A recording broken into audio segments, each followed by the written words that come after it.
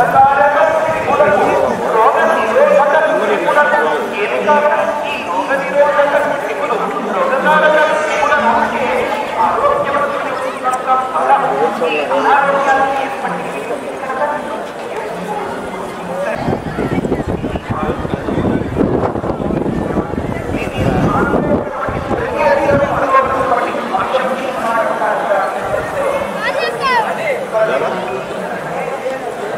ఆడు మాట్లాడతాను కొద్దిగా ముందరికి వచ్చి.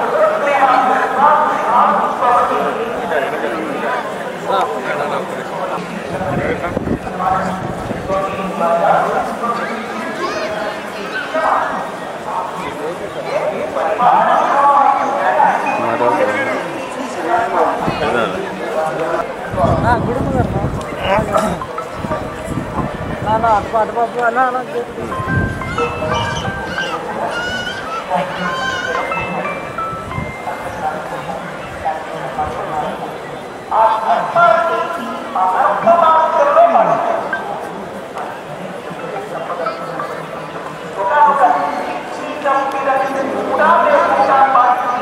స్వామివారి దర్శనం చాలా వైభవంగా జరిగింది.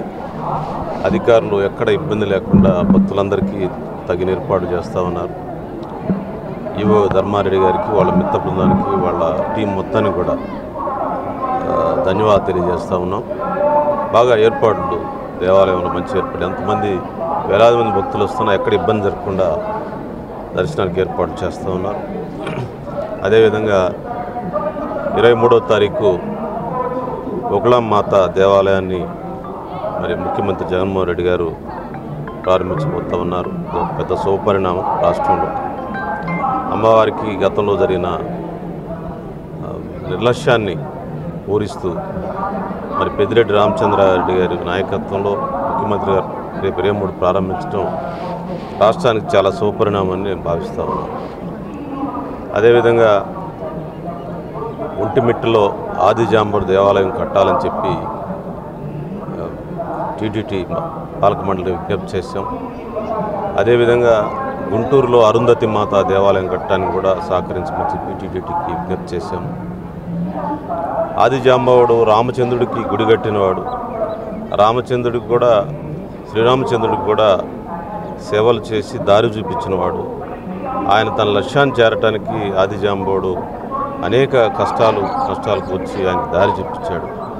మరి ఆది రామచంద్రుడికి గుడి కట్టినటువంటి ఒంటిమిట్ట రామాలయం కట్టిన ఆదిజాంబవుడి గుడి లేకపోవటం నిజంగా దురదృష్టకరం.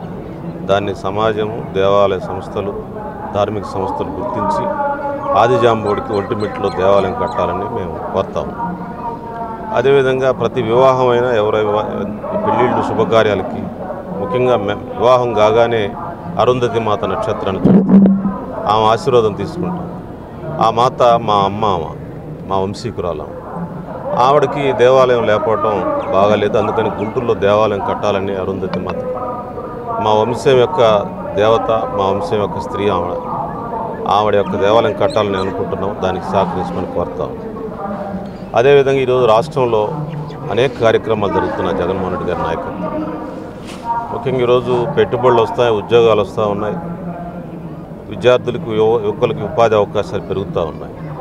ఆ అవకాశాలను కూడా ఆ యువకులంతా వాడుకోవాలని చెప్పి మేము చేస్తాం. ప్రభుత్వ వ్యతిరేక శక్తులు పేద వర్గాలకు సహాయం చేస్తే బాధపడేవాళ్ళు కుళ్ళుకునేవాళ్ళు అంతా కూడా కొన్ని మీడియా సంస్థల ద్వారా కొన్ని ప్రసార మాధ్యమాల ద్వారా ముఖ్యమంత్రి జగన్మోహన్ రెడ్డిపై ఆడిపోసుకుంటూ ఉన్నారు.